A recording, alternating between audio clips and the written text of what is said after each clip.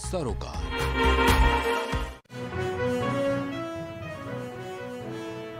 शाहजहांपुर में खादी एवं ग्रामोद्योग बोर्ड की प्रदर्शनी का उद्घाटन वित्त मंत्री सुरेश खन्ना ने किया उद्घाटन।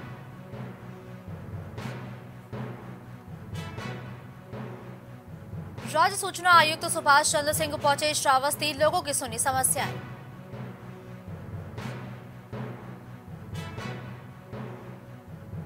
फरीदाबाद में मौसम ने ली करवट बूंदाबांदी के बाद बड़ी सर्दी किसानों ने जताई चिंता।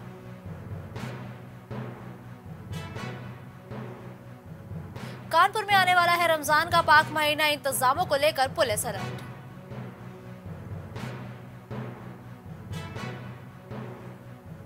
आगरा में यूपी बोर्ड की परीक्षाओं का मूल्यांकन शुरू, कड़ी सुरक्षा के बीच होगा मूल्यांकन।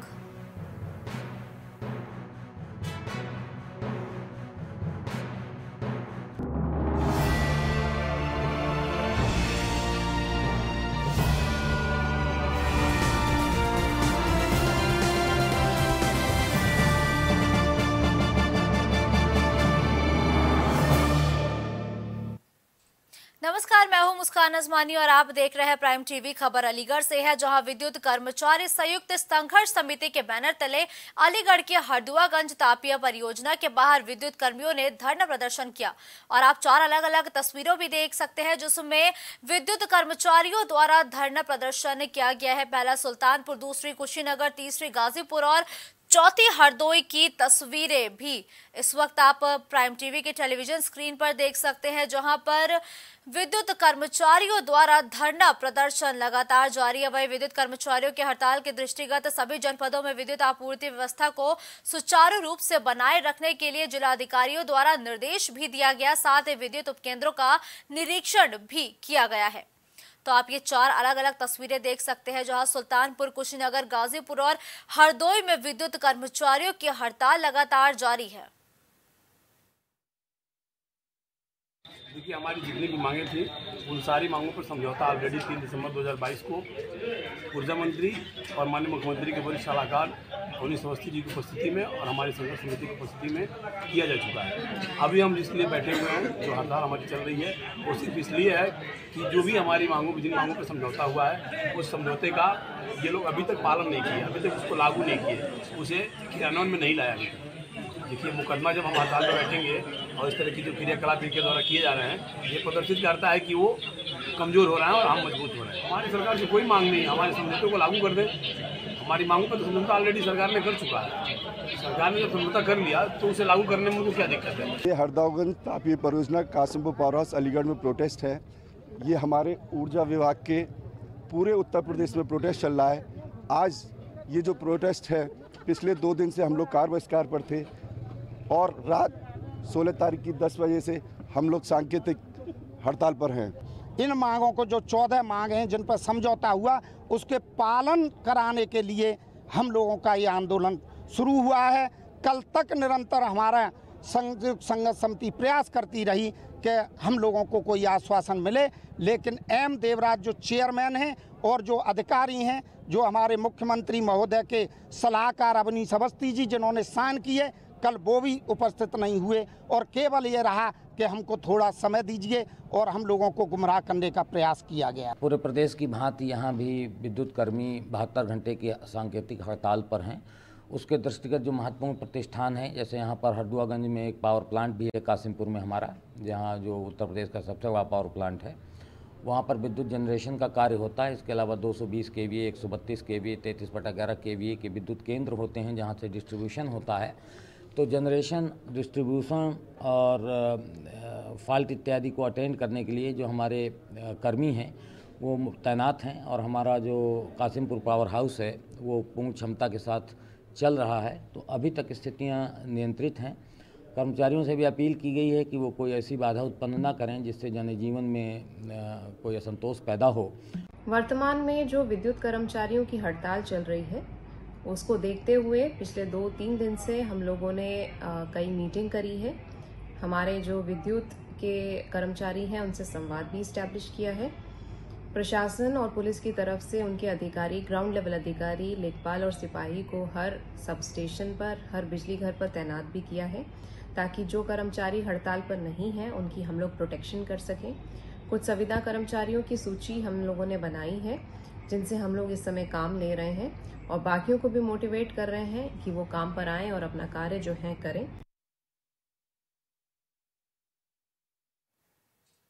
बुलंदशहर के राजे बाबू पार्क पर गिरधारी नगर निवासी युवक के गुमशुदा हो जाने पर दर्जनों लोगों ने प्रदर्शन किया। साथ ही राजे बाबू पार्क से गुमशुदा युवक की तलाश के लिए एसएसपी को शिकायती पत्र देने के लिए परिजन पहुँचे। परिजनों ने गुमशुदा युवक की हत्या की आशंका जताई है। बता दें कि युवक अपने दो साथियों के साथ कूड़ा कचरा उठाने गया था, तब से वो वापस घर नहीं लौटा। जबकि गुमशुदा युवक के दोनों साथी उसी दिन घर लौट आए थे। पूरा मामला बुलंदशहर नगर क्षेत्र स्थित गिरधारी नगर का बताया जा रहा है।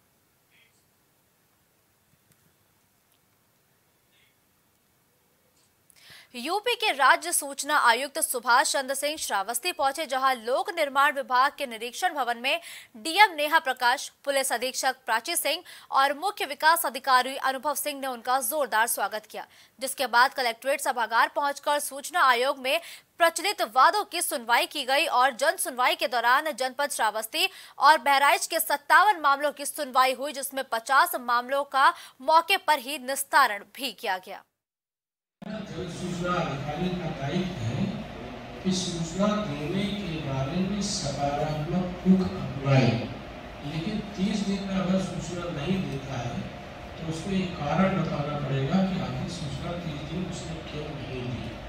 अगर उसको कारण नहीं बता सकता है या नहीं बता पाता है कार्य के कारण, वो दंड का भागी होता है तो उसमें पच्चीस हज़ार का जुर्माना अर्थदंड प्रतिकूल प्रविष्टि का भी प्रावधान है। ऐसे बहुत सारे अधिकारी हैं, जैसे आज भी लोगों के ऊपर हमने दंड लगाया। उसमें जन सूचना अधिकारी उपस्थित था, न उसके द्वारा कोई सूचना दी गई थी, इसलिए वो दंड का भागी बना।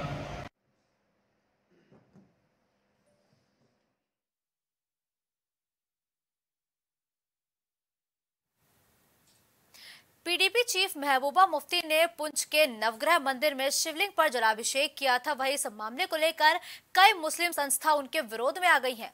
अलीगढ़ में भी थियोलॉजी विभाग के पूर्व चेयरमैन और मुस्लिम धर्मगुरु प्रोफेसर मुफ्ती जाहिद अली खान ने कहा कि खुदा के अलावा जो किसी और की इबादत करता है या पूजा करता है, वो इस्लाम में खारिज है। शिवलिंग पर जल चढ़ाना पूजा होती है, जो पूजा करेगा, वो इस्लाम से खारिज होगा। उनको इस्लाम में वापस आने के लिए दोबारा कई काम करने होंगे, जिससे वो इस्लाम में वापस आ सकें।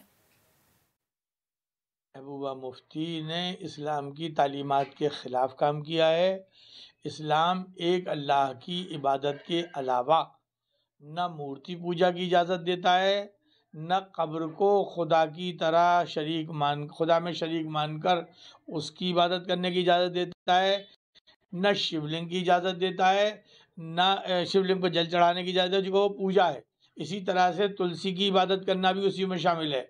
इसी तरह से पीपल की इबादत करना, गाय की इबादत करना या ऐसी किसी तस्वीर की जिसकी पूजा की जाती हो, जैसे रामचंद्र जी हो, उनकी साथ सीता जी या खाली रामचंद्र जी या कृष्ण जी और उनके साथ वो तो अगर इनमें से किसी एक की पूजा करे या इबादत करे और वो शिवलिंग पे जल चढ़ा के इबादत करे यूपी खादी एवं ग्रामोद्योग बोर्ड द्वारा शाहजहांपुर के खिरनी बाग स्थित खेल मैदान में तीन दिवसीय प्रदर्शनी का आयोजन किया गया और इस आयोजन का शुभारंभ यूपी के वित्त मंत्री सुरेश कुमार खन्ना द्वारा किया गया।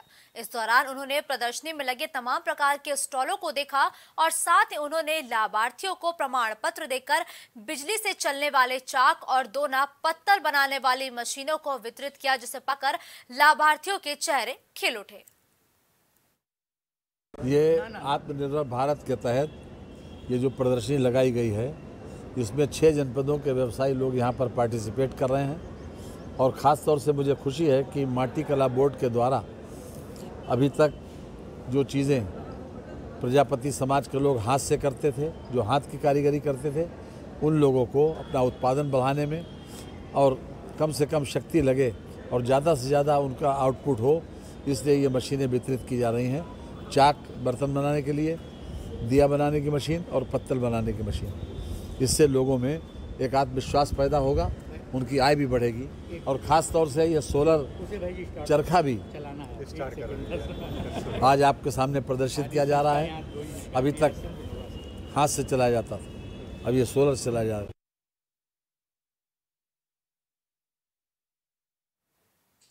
वहीं यूपी बोर्ड परीक्षाओं का मूल्यांकन शुरू हो गया है और पाँच मूल्यांकन केंद्र ताजनगरी आगरा में बनाए गए हैं।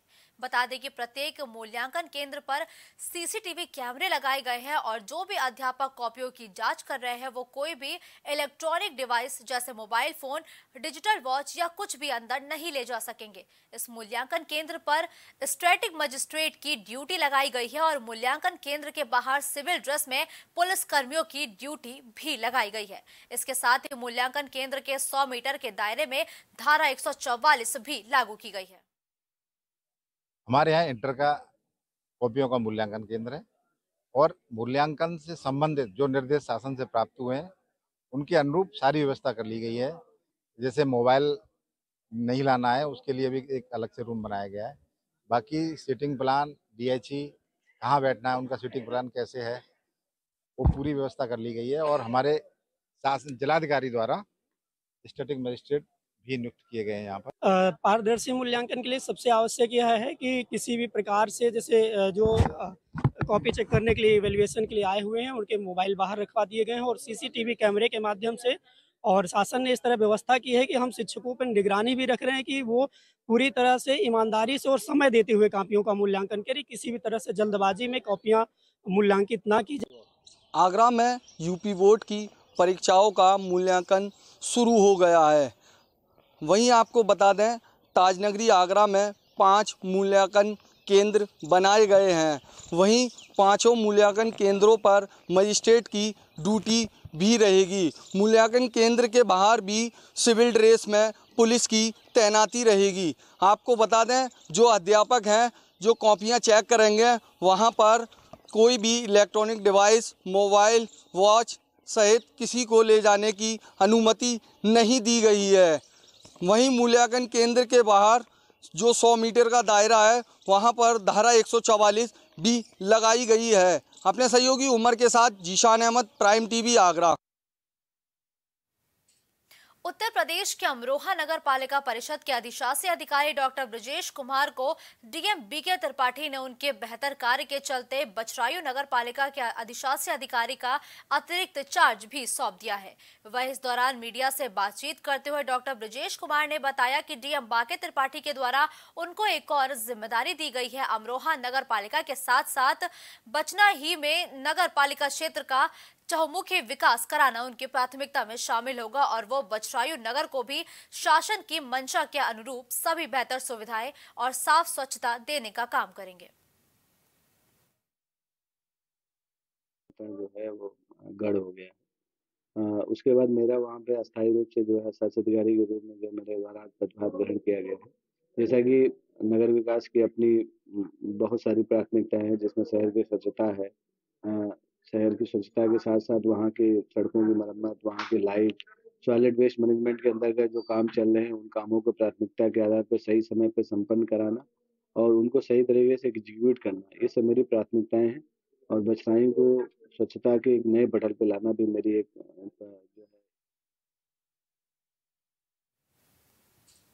प्रयागराज के हंडिया तहसील के वारी गाँव में जल जीवन मिशन के तहत ग्रामीणों को जागरूक किया गया। इस मौके पर मालती चौहान, अनुराग स्वाही, देवी दीपिका सिंह सहित दर्जनों की संख्या में लोग उपस्थित रहे। इस दौरान महिलाओं ने एक स्वर में कहा कि जल जीवन ही सबसे बड़ी पूंजी है। जल जीवन मिशन कोऑर्डिनेटर कुसुम सिंह ने कहा कि जल है तो कल है, जल के बिना जीवन अधूरा है।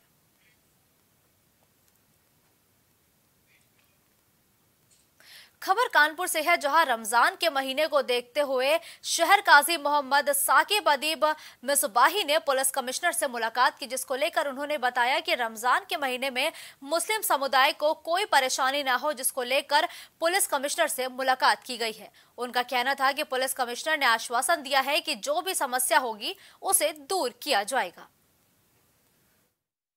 आज हम लोग कमिश्नर साहब के पास रमज़ानुल मुबारक के मौके पर, यानी कि रमज़ान का महीना शुरू हो रहा है, इस मौके पर हम ज्ञापन देने आए थे। हमने बहुत सारी बातें रखी, सफ़ाई के ताल्लुक से और बिजली के ताल्लुक से और मसाजिदों के बाहर जो और दीगर जो गंदगी चीज़ें पड़ी रहती हैं, उन सब चीज़ों के ताल्लुक से, सफ़ाई सुथराई के ताल्लुक से हम सारी चीज़ें हमने बात करी है। उन्होंने हमसे कहा है कि कहीं भी अगर कोई दिक्कत आती है तो आप हमें अवगत करा दें। बाकी आज हम जो है नगर आयुक्त साहब से और डीएम साहब से हम बात कर लेंगे। और इन ताला कोई भी ऐसी बात नहीं होने पाएगी। अगर कहीं से कोई दिक्कत आती है तो आप हमसे रबता कर लें और हम उस दिक्कत को दूर कर देंगे और जो त्यौहार खबर अलीगढ़ से है, जहाँ स्कूल के अध्यापक को बच्चे से फ़ीस मांगना महँगा पड़ गया। बच्चे के पिता ने अपने बेटे के साथ मिलकर अध्यापक की जमकर पिटाई कर दी। इस दौरान अध्यापक गंभीर रूप से घायल हो गया। वही हमले में प्रयोग की जाने वाली तलवार आरोपी के बेटे के हाथ में साफ़ तौर पर नज़र आई, जिसको लेकर अध्यापक ने स्थानीय पुलिस से अब मदद की गुहार लगाई है।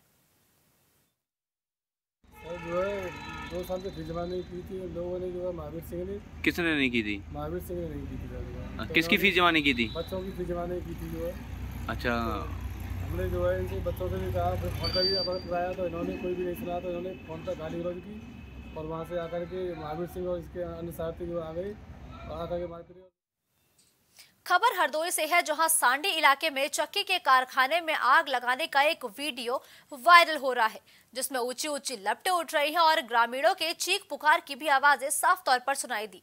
आग लगने से कारखाने में रखा सारा सामान जलकर राख हो गया, जिसके बाद पीड़ित की माँ और भाई ने इसका विरोध किया। तो दबंगों ने लाठी डंडों से उन पर भी हमला कर दिया, जिसमें माँ और भाई दोनों ही गंभीर रूप से घायल हो गए, जिनको इलाज के लिए सीएचसी सांडी में भर्ती कराया गया है। फ़िलहाल पुलिस दोनों पक्षों से तहरीर मिलने के बाद मामले की जाँच में जुटी हुई है। पिंडारी गाँव है, सांडी थाना क्षेत्र में। वहाँ पे पिंडारी में दो पक्ष हैं, एक अशोक कुमार फांसी और दूसरे गोपी। इन दोनों पक्षों में विवाद हुआ था, आपस में मारपीट भी हुई है और दोनों पक्षों का आरोप है कि एक दूसरे के छप्पर में इन लोगों ने हमारे आग लगा दी। जिसमें अशोक कुमार का ये कहना है कि मेरा पॉलिसर रखा था, वो जल गया और गोपी का तहरीर दिया उन्होंने कि मेरे झोपड़ी में आग लगा दिया, जिसमें कुछ सामान जल गया। दोनों से प्रार्थना पत्र प्राप्त किया गया है और जाँच करके आवश्यक विधिक कार्रवाई की जा रही है।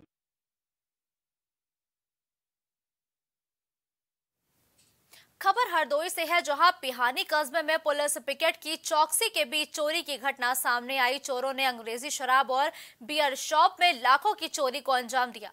इतना ही नहीं, शातिर चोरों ने बैठकर बड़े आराम से आपस में जाम छलकाए और फिर लाखों की नकदी लेकर फरार हो गए। वह इस मामले की सूचना पुलिस को मिलते ही पुलिस अब मामले की जाँच पड़ताल में जुट गई है। बियर और अंग्रेज़ी शराब की दुकान है।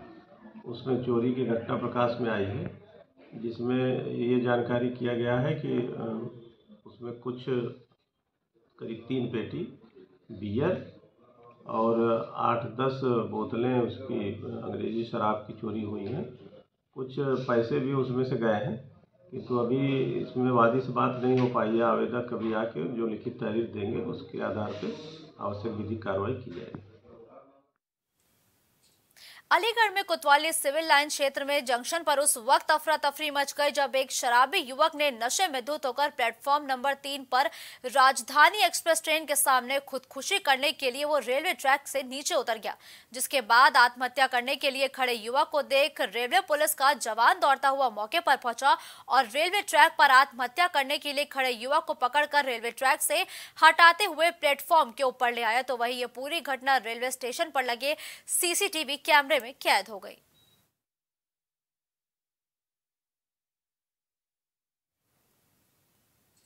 खबर फरीदाबाद से है, जहाँ साइबर थाना बल्लभगढ़ की टीम ने यमुना आवास योजना के तहत सस्ते दाम पर प्लॉट दिलाने के नाम पर 690 लोगों के साथ साइबर ठगी की वारदात को अंजाम देकर तीन करोड़ से ज़्यादा की ठगी करने वाले गिरोह के तीन सदस्यों को गिरफ़्तार करने में सफलता हासिल की है।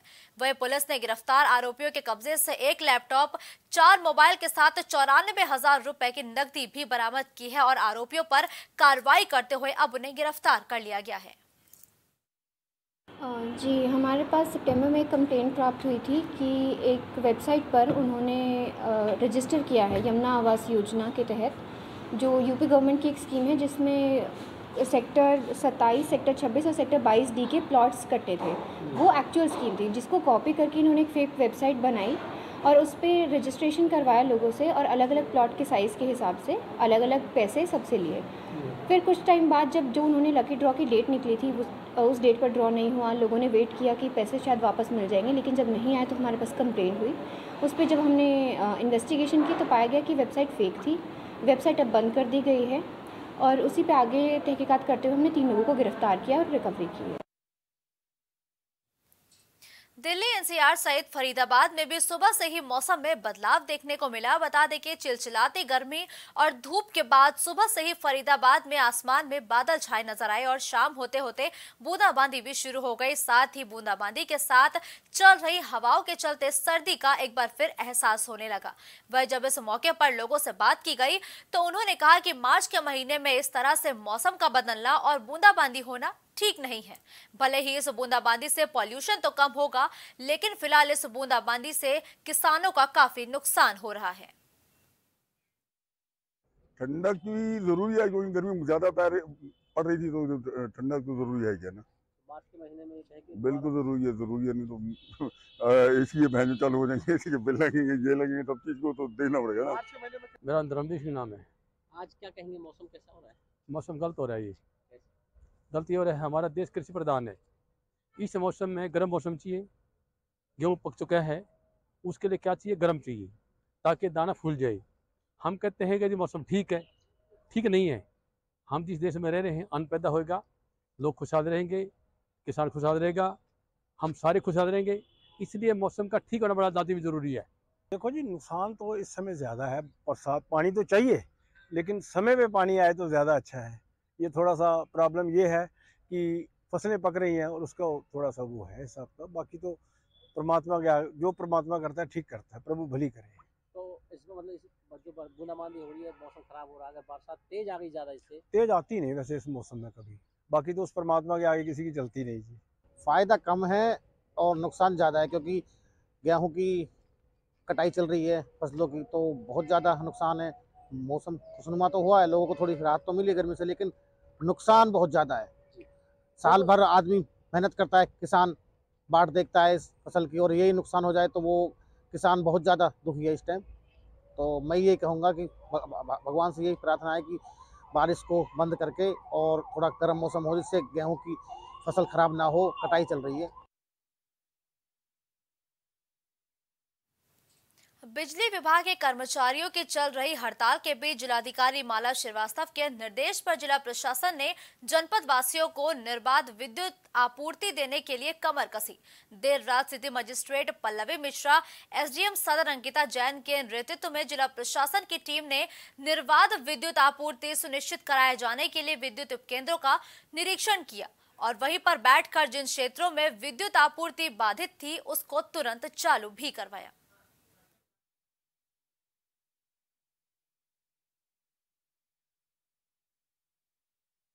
जैन ने ग्रामीण क्षेत्रों के विद्युत उपकेंद्रों का निरीक्षण करके निर्बाध विद्युत आपूर्ति सुनिश्चित कराने के भी निर्देश दिए हैं।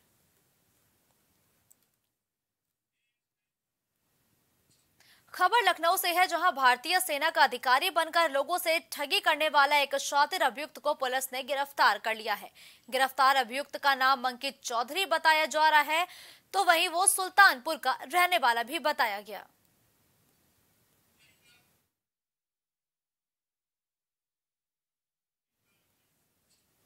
हमारे इस बुलेटिन में फ़िलहाल के लिए इतना ही। देश भर की तमाम बड़ी और ताज़ा तरीन खबरों के लिए आप देखते रहिए प्राइम टीवी।